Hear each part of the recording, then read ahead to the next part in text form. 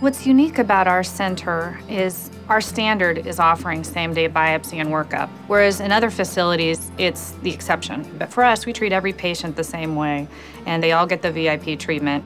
We've been excited to have patients come to us from around the world who are here for us not only for our same day workup and biopsy, but also for our expertise.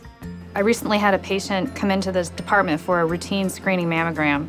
She came in on our lunch hour and we did the original screening pictures and I saw that there was something wrong. We went in and talked to her and said, look, you may need a biopsy we're gonna need to take some extra pictures. Do you have time to stay? We went ahead and add on the extra mammogram pictures, we did the ultrasound, and then did the same day biopsy. And she was out of the department in two hours.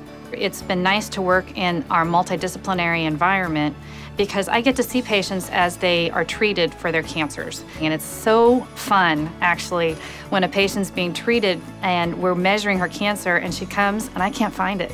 It was an honor to be recognized as Physician of the Year because I'm a radiologist, and radiologists don't usually have as much patient interaction as a regular primary care physician. But because of my passion about breast imaging and how I've created a patient centered breast imaging program, I was just so tickled to get the award. I am Dr. Emily Sedgwick at the Lester and Sue Smith Breast Care Center at Baylor College of Medicine.